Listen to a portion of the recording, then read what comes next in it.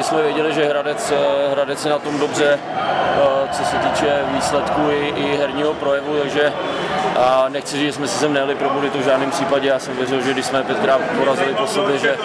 že, ne, že není, není problém je porazit i dneska, i když se jim daří, ale, ale bohužel se nám to nepovedlo. Ta třetí třetina je od toho stavu 2-2, už bylo cítit, že to bude o jedné chybě a o tom,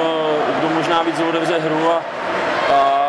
Radec si myslím, že má natolik zkušený mužstvo, že si to dokázal pohlídat a my v naší situaci jsme samozřejmě by byli rádi za jakýkoliv bod odsaď, ale tlačili jsme do toho, ale bohužel nedali jsme ten gol dost brzo na to, aby jsme odskočili my.